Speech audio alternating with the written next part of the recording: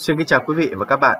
Chào mừng quý vị và các bạn đến với bản tin tiếp theo trên kênh Follow TV, kênh chuyên cập nhật những thông tin về giá cà phê và giá hồ tiêu hàng ngày. Cảm ơn các bạn đã quan tâm theo dõi và ủng hộ cho kênh trong thời gian vừa qua. Chúc các bạn ngày mới vui vẻ. Trong bản tin hôm nay, chúng tôi xin gửi tới quý vị và các bạn những thông tin đáng chú ý như sau. Cập nhật thông tin về giá hồ tiêu trên thị trường xuất khẩu.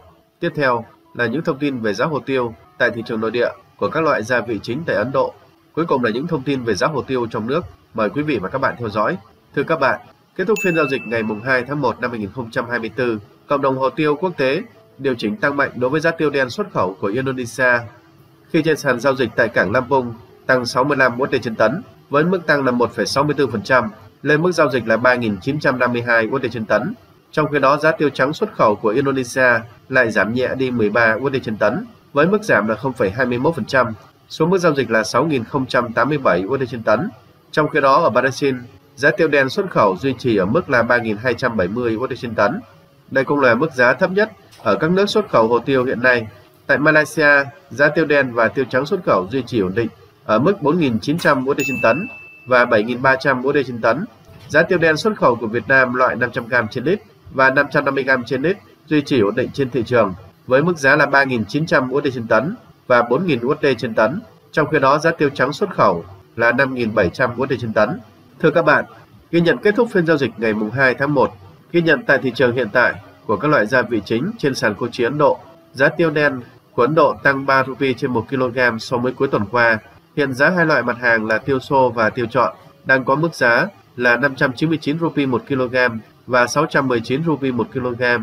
Nếu tính theo tỷ giá chéo của đồng Việt Nam với đồng rupee Ấn Độ, hiện giá hai loại tiêu xô và tiêu chọn đang có mức giá là 175.000 đồng và 180.000 đồng một kg. Thưa quý vị và các bạn, tổng kết năm 2023, giá tiêu nội địa của Việt Nam tăng trung bình là 22.000 đồng một kg. Sản lượng năm ngoái tăng nhẹ nhưng cũng không đủ bù đắp cho sự thiếu hụt trong hoạt động xuất khẩu. Trong nửa đầu năm 2023, Trung Quốc thu mua mạnh hồ tiêu sau quãng thời gian dài đóng cửa vì dịch bệnh COVID-19, giúp giá tiêu trong nước liên tiếp chinh phục các mốc giá cao. Tới giữa năm, lực mua yếu đi từ các thị trường nhập khẩu, đẩy giá hồ tiêu đi ngang và có xu hướng giảm trong thời gian dài. Tuy nhiên từ tháng 11, liên tiếp các yếu tố như dự báo mất mùa, gián đoạn hoạt động vận tải trên biển đỏ, kỳ vọng Fed giảm lãi suất giúp giá hồ tiêu tăng vọt. Thưa các bạn, về tình hình giá hồ tiêu trong nước, sáng nay khu vực các tỉnh Tây Nguyên và miền Đông Nam Bộ, giá hồ tiêu tăng nhẹ 500 đồng trên 1 kg ở một số địa phương trọng điểm.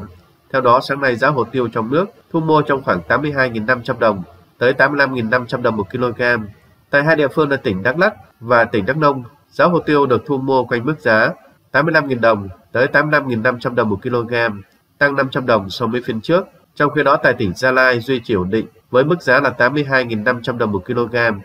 Giá tiêu tại tỉnh Phú Yên sáng nay ghi nhận ở mức là 82.600 đồng một kg. Tại tỉnh Bà Rịa Vũng Tàu, giá hồ tiêu ổn định với mức giá 85.500 đồng một kg. Trong khi đó tại tỉnh Bình Phước tăng 500 đồng một kg và thu mua với mức giá là 85.500 đồng một kg. Giá tiêu tại tỉnh Đồng Nai sáng nay cũng tăng 500 đồng và thu mua ở mức là 85.000 đồng một kg. Thưa các bạn, đầu năm mới, một số vùng tiêu chín sớm đã bắt đầu cho thu hoạch. Thị trường hiện nay vẫn đang nghe ngóng những thông tin về sản lượng để cân đối cung cầu, trong khi dòng tiền của dân buôn đang tập trung nhiều cho mặt hàng cà phê. Qua Tết Nguyên đán, các địa phương thu hoạch rộ hồ tiêu. Lúc này thì bức tranh sản lượng sẽ dần hiện rõ nếu đúng như suy đoán của các chuyên gia, doanh nhân, doanh nghiệp kinh doanh hồ tiêu, thì giá hồ tiêu trong nước có thể tăng mạnh và lặp lại kịch bản như năm 2021. Quý vị và các bạn vừa theo dõi những thông tin mới nhất cập nhật về giá hồ tiêu sáng nay trên kênh Follow TV. Chúc các bạn ngày mới vui vẻ. Xin kính chào và hẹn gặp lại các bạn trong bản tin tiếp theo.